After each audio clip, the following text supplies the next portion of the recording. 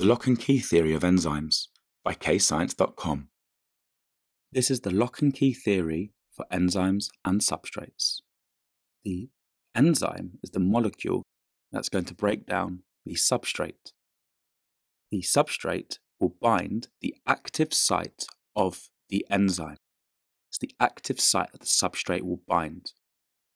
The enzyme is bound by the substrate.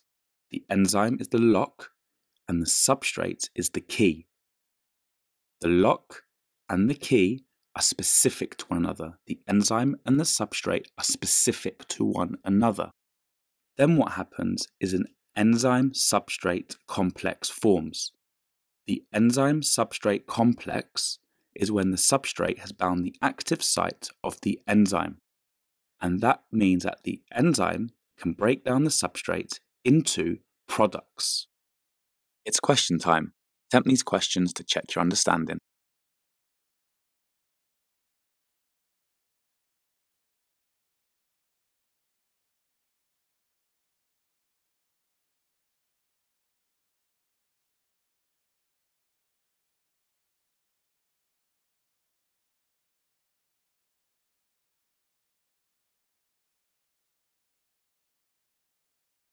Press pause here to practice using the keywords and draw the diagram. The answers will follow. The enzyme is the lock and the substrate is the key. The substrate is specific to the active site of the enzyme. The substrate binds the active site of the enzyme to form the enzyme substrate complex. The enzyme breaks the substrate down into products. The enzyme is not used up during the reaction.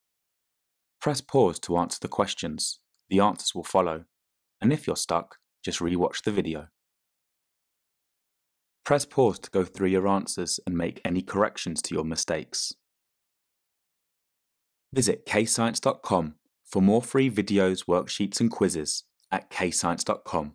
And don't forget to like and subscribe.